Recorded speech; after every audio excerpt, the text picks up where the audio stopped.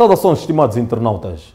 Na habitual rubrica Destaque Nacional da Semana, trazemos o rescaldo da visita de 48 horas do Presidente da República, José Eduardo dos Santos, à República Francesa e ao Estado do Vaticano, na Itália. Estimados internautas, vão acompanhar os momentos chaves desta histórica visita de José Eduardo dos Santos à República Francesa e à Santa Sé com impactos distintos. Em França, o Presidente da República, José Eduardo dos Santos, manteve um encontro com seu homólogo François Hollande. Desta reunião, resultou o compromisso dos dois Estados no sentido de darem um novo impulso às relações diplomáticas estabelecidas entre si desde janeiro de 1977. O encontro bilateral serviu igualmente para uma abordagem de questões ligadas à paz e segurança em África, particularmente a situação prevalecente na República Centro-Africana, tendo sido saudado o apoio internacional fornecido para o governo de transição, especialmente de Angola e da França, que permitem a retomada gradual dos serviços públicos neste país. Para o ministro das Relações Exteriores, Jorge Chicote, o encontro entre os dois chefes de Estado revestiu-se de uma grande importância, porquanto discutiram vários aspectos de âmbito bilateral e multilateral.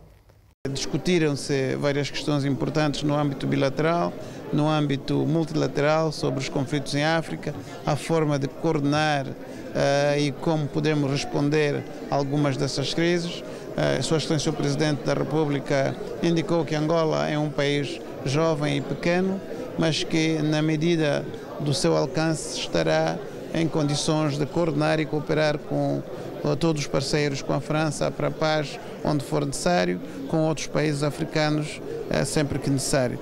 A visita do estadista angolano à França foi igualmente marcada pelo convite ao empresariado francês para investir em Angola em função da realidade de paz que o país vive e do esforço focado na diversificação da economia angolana, tudo numa perspectiva de reciprocidade de vantagens.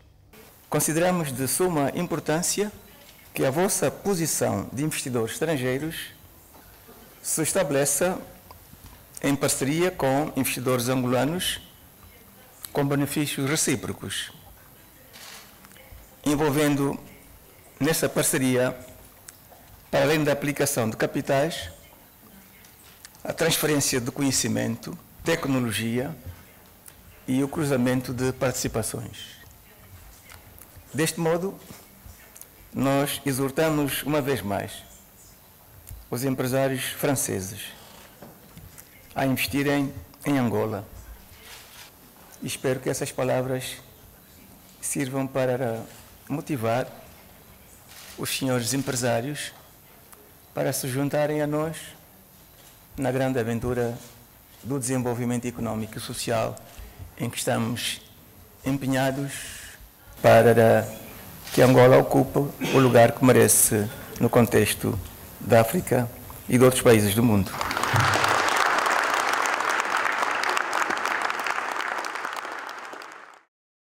O chefe de Estado angolano manteve igualmente na cidade de Paris um encontro com membros do corpo diplomático de países africanos acreditados naquele país europeu. Neste encontro, José Eduardo Santos disse: Vous êtes des diplomates.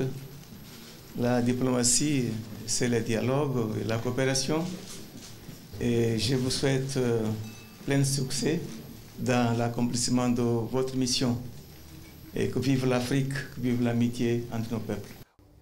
Terminada a visita à França, o presidente José Eduardo dos Santos viajou ao Vaticano, onde foi recebido pelo Papa Francisco. Na sua reunião, em privado, os interlocutores falaram sobre o projeto de acordo bilateral relativo ao estatuto jurídico da Igreja Católica em Angola. Durante 30 minutos, o presidente angolano e o Papa Francisco falaram também sobre a importância da confissão religiosa nos domínios da educação e da saúde em Angola e passaram em revista assuntos ligados aos desafios que Angola tem pela frente na região em que está inserida e no continente em geral, mormente a luta contra a pobreza e a desigualdade social, o desenvolvimento integral da pessoa humana, a reconciliação, a justiça e a paz. A seguir ao encontro, o chefe de Estado angolano ofereceu ao Papa Francisco uma estatueta do Pensador, símbolo da cultura nacional, e um exemplar da maquete do futuro santuário da Igreja de Nossa Senhora da Mushima, localizada no município de Ikolubengo, em Luanda.